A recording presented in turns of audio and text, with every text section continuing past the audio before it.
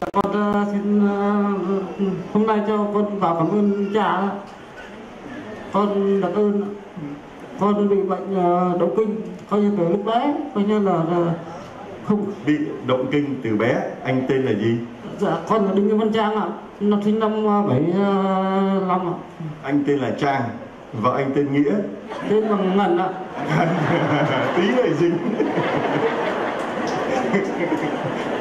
quá anh tên là Trang và em tên là Ngân. Rồi rồi ờ, anh được ờ, anh có đạo không? Dạ con không ạ. Con đạo Phật ạ. Vâng một tràng phát tay nữa cho anh ờ, Trang người đạo Phật mà động kinh từ bé. Nay anh bao nhiêu tuổi? Dạ ờ, 44 tuổi ạ. Vâng, anh động kinh từ bé mà cho đến tới 44 tuổi. Rồi nhờ đâu mà anh được Chúa chữa khỏi cái bệnh động kinh từ bé? Ở anh Nghĩa Ngân, con cũng ờ, Trang Ngân Dạ, con cũng quen bạn với bên ờ, công giáo với ờ, bên bạn vợ con đi làm với với bên bên đấy, Coi như là ông có đi làm thợ thì vâng, Rụt thở Anh, ờ, vợ anh đi làm hay anh đi làm? dạ vợ vợ con vợ con ạ.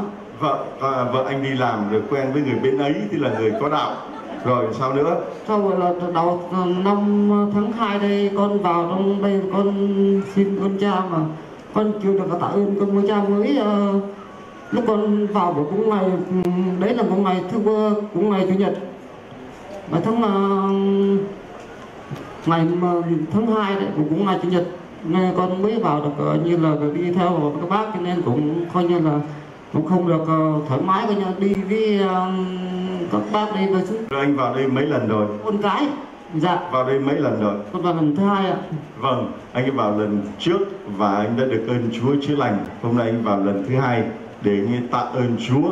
Một người đạo Phật động kinh từ bé 43 tuổi đang hiện diện trước mặt chúng ta đây. 44 không phải 43 vẫn nhớ quá. Tôi rút tuổi cho anh để anh khỏi đi nghĩa vụ quân sự mà anh vẫn lên thành 43. Hallelujah. Đây người tặng cho anh cái máy và trong bài giảng lòng Chúa thương xót nha. Hả? con mua là mình chưa xong ạ Anh mới mua xong thì anh có lấy nữa không? cho con xin người là chơi gì ờ, em em vợ cũng ốm không coi như ta đi, đi, mà không đi được bận con xin thì phải cho, cho, cho cha con tặng lại cho cho gì Vâng, anh chúng ta thấy có những con người mà khao khát lòng Chúa thương xót, họ mua rồi. Người ngoại đạo, họ còn dám mua được một cái máy.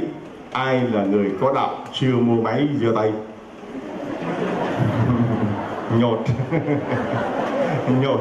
Người có đạo mà chưa mua được cái máy để mà nghe, chứ đừng có nói mà mua tặng cho người khác, mình phải thấy xấu hổ. Và sẽ trả lời trước mặt Chúa tại sao con ăn chơi được, con ăn nhậu được, con mua sắm cái này, cái kia được, mà có một cái máy để đi loan truyền lòng thương xót của ta mà con không mua được là sao? Con là người đạo gốc là sao?